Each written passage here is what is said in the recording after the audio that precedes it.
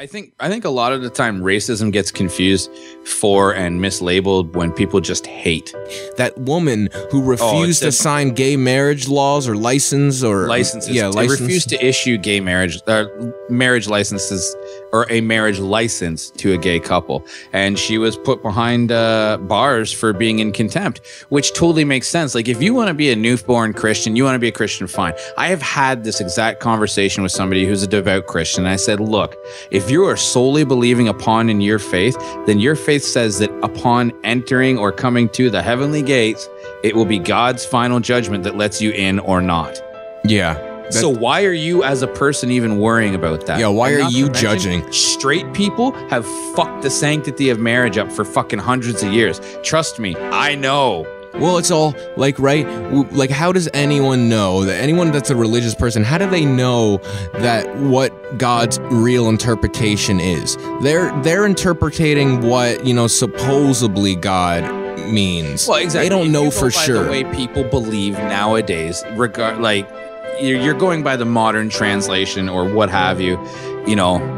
Regardless, it is it is God. I mean, all religion is based off of judgment. spiritual stories, spiritual beliefs, uh, people wanting understanding of the universe. That's what religion is based off of. The meaning of life, the death. Like they, they, they just want meaning. They want, want closure. answers. They want answers. They want a reason to to spend 90 years on this earth and then leave and and then and then leave with knowing and having something to Well, exactly. For look some people, forward to religion after justifies death. why life can be so shitty. Yeah, and It's a test. It's this. It's because that. when you really think about it right you're forced into this world we're not we're, we have no choice behind that we have no we're, we're forced in we're all the resort of our parents fucking and coming in a vagina. Yeah. and fucking then we're born. then we're born we have a nice childhood we have if we're lucky we get loving parents if we're fucked up we get like the We get shit ketamine stick Kelly. we get ketamine kelly as a mom and we end up fucking sucking dick when we're 14 for cocaine but you know, it, you, you get dealt a hand, and then you live your life, and then you you have to get a job. You got to pay bills. You got to pay taxes, and if you don't pay your taxes, you get thrown into jail. You can't smoke weed. Here's something depressing. You can't smoke weed. You can't you can't smoke a plant that grows naturally on this earth. You know, you can't come home and relax and smoke a plant, but you can come home and drink all the fucking endless booze and pooch and toilet water you want because that's completely legal. Can't smoke weed. You can make fucking booze in your toilet, but can't smoke weed. Yeah. and then and then you, you you get a job, you get a job, you live life, and then you die.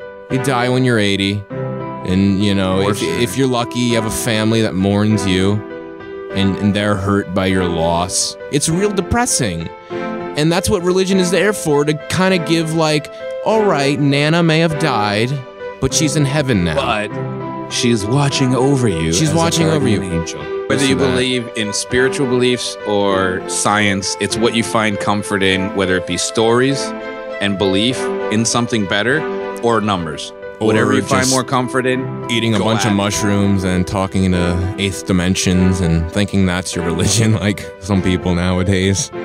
Have fun with your yeah, life. don't take don't take life so seriously. Don't take uh, yourself too seriously. Especially for Just- people when it when it comes to anything, it's not real life. What matters are the people that actually surround you.